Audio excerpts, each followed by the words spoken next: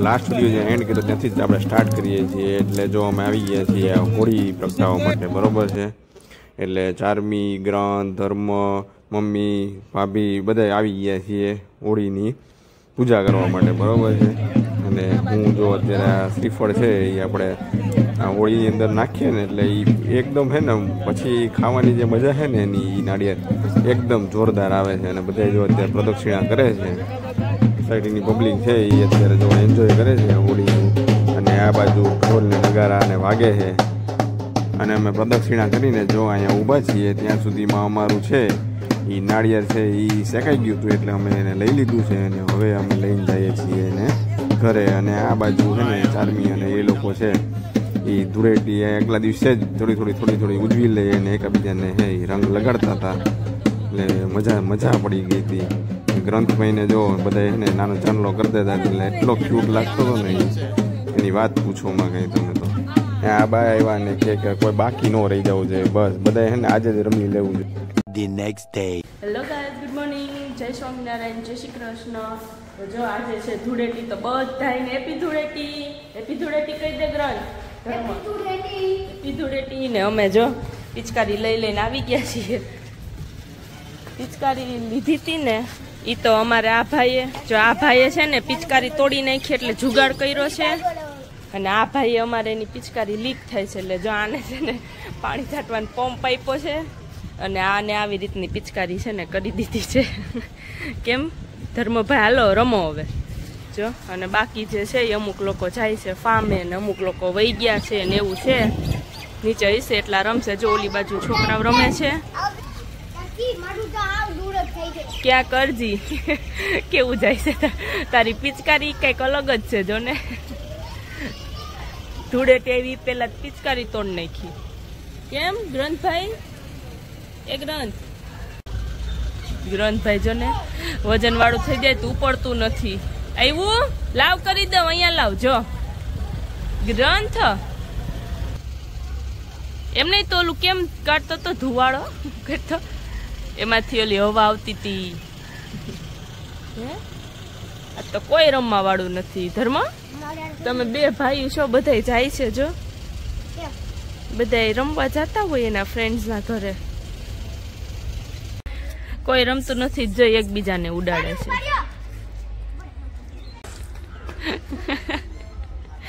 અમારું ઘર જ મને એમ છે રમતું લાગે, બાકી કોઈ નથી. હવે એટલી વારમાં નો ફિનિશ થઈ જાય. લે તું કર. હજી પણ કેટલા તો સાડા દસ ઉપર થઈ ગયું. આને ઉડાડો આને આ ભૂરીને. જા ભૂરી ઉડાડે તને. જા. જા ઈ બાજુ મમ્મી ઉડાડે. ઉડાડે.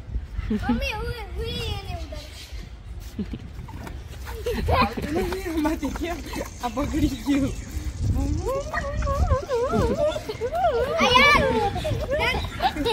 જતો એને દાંત આવે.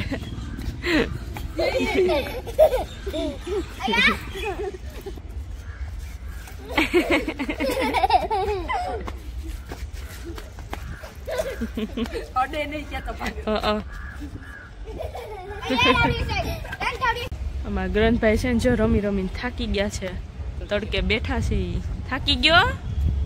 હે ઠંડી લાગે તડકે બેસવું ને કે ઘરે જવું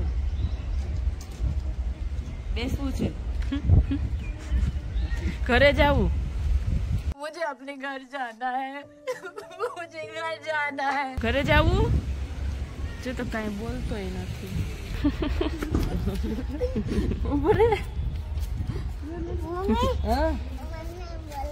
હવે તું તો તું તો આખો ભીનો થઈ ગઈ કે મને પલાળ. તડકે વયો જા પાછો બેસ જા. જા બેસી જા ક્યાં બેઠો તો? છતી હાલે. એ તો જો ધર્મભાઈ રેડી થઈ ગયા છે નીચે જવા માટે. આ શું કર્યું તે? પ્લાન્ટ બનાવ્યો. પ્લાન્ટ આવો પ્લાન્ટ હોય? ઇન્ટરનેશનલ પ્લાન્ટ હે? સીધ જાવું અને અહીંયા જો અમારા ડિનરની તૈયારી થાય છે, આજે બનાવવાનું છે ભરેલ શાક. તો જો એમાં ઓનિયન નાખી છે રીંગણ છે, આ બાજુ લસણ છે, અને અહીંયા બેબી પોટેટો છે. આજે બનાવવાનું છે આપણે ભરેલું શાક. તો પહેલાં બધું બાફી લીધું છે આપણે. તો કઈ રીતે બનાવીએ ને તમને આગળ રેસીપી બતાવશું. ઓય! જો અહીંયા બધું આપણે ઢોકળિયામાં મૂકી દઈએ છીએ. અને એને બફાતા અડધી કલાક જેવું થશે અને આ બાજુ અમારું ફર્નિચર ચાલે છે અને અહીંયા બે ભાઈ રમે છે તો જો આ બાજુ હે ચારમી રોટલા બનાવે છે શું જરા ચારમી રોટલા કેમ ફૂલે હે અરે વાહ મસ્તી નો ફૂલો હે તારી જેવો ફૂલો છે बहुत ही सुंदर तरीके से आपने खेला જો આવડી ગયા છે હવે રોટલા હા વાહ સરસ હવે મોટા મોટા બનવા માંડ્યા હો બાકી એક સરસ બનાવ્યા છે. આ જો એની ઉપર છે ને આપણે રોટલા ઉપર મસ્તીનું તાજું છે ઘી નાખી દીધું છે ઘરનું છે ને આપણું કે શિવાંજલિનું. શિવાંજલિ આપણે શિવાંજલિ જિંદાબાદ. હમ. હમ, ઘરનું જ કહેવાય ને? હા એ તો ઘરનું જ કહેવાય ને. તો શિવાંજલિ જિંદાબાદ. રેસીપી બેસીબી કીધી છે કે પછી હરીના વાલા? એવું થોડું આવે. નોર્મલ આપણે શાક વઘારીએ ને આદુ મરચું લસણ અને ટમેટાના મમ્મીને તો પીસ કર્યા વખતે મેં ગ્રેવી કરી. અને બસ લીલું લસણ નાખ્યું અને થોડોક તજ અને લવિંગનો ભૂકો નાખ્યો.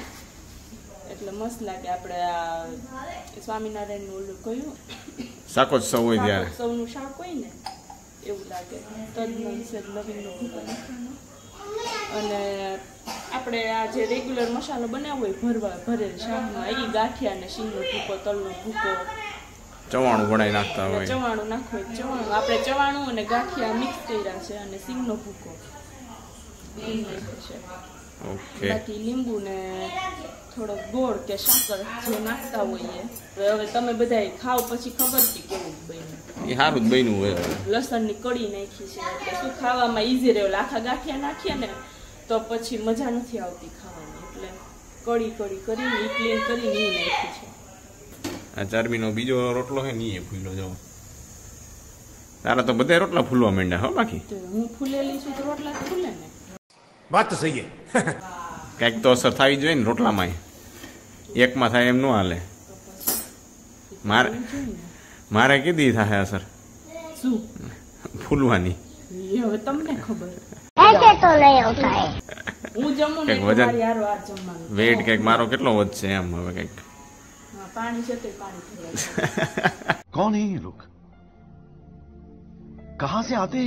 અને આ બાજુ અમારા ભાઈ જો ગ્રંથભાઈ બેહી ગયા જમવા. ધર્મગ્રંથ બે શું ખાય છે? શું? ઈ શું? સ્ટ્રોંગ. શું ખાઈને સ્ટ્રોંગ? શાક ને રોટલા? તો? રોટલી?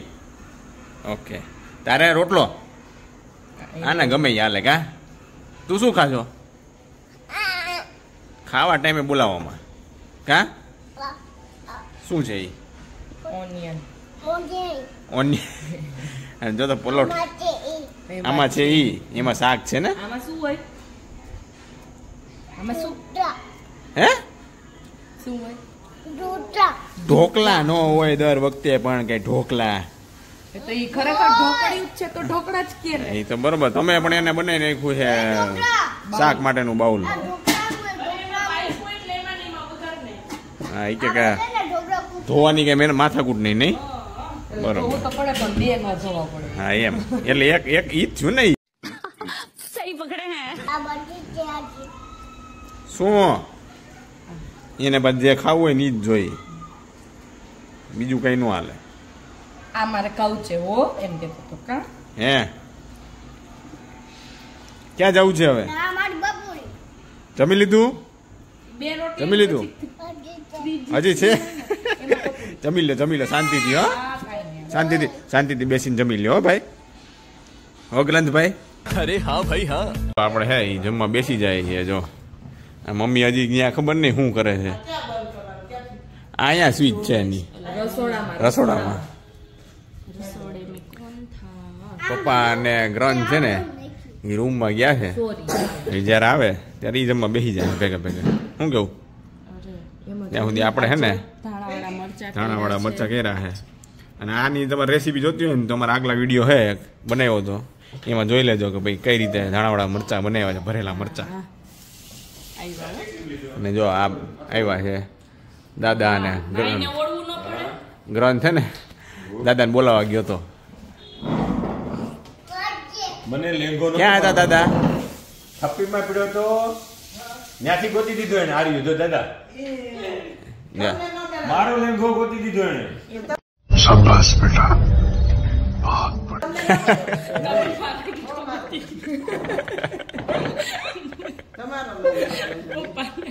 ચાર મિનિટ પરવળ હા પર્વ ન્યા મારું પેન્ટ પહેરીને ગાય પપ્પા મારું પેન્ટ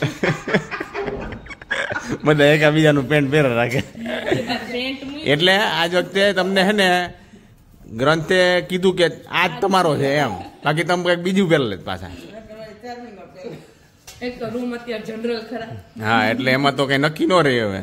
બોલ આટલા કબાટ છે એમાં કપડાં નથી સમાતા કબાટ કરેવો અને ઈ રૂમમાં અમને એક કબાટમાં અમારે ચાર જણાના કપડાં છે તોય સમય અને એ બાજુ એક જ બાજુનું છે એવું નહીં? બાજુ એક જ કબાટમાં.